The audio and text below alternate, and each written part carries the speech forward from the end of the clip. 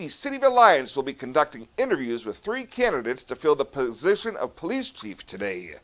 The candidates include Alliance Police Department Lieutenant Kirk Felker and interim police chief, who has over 26 years of experience with the Alliance Police Department.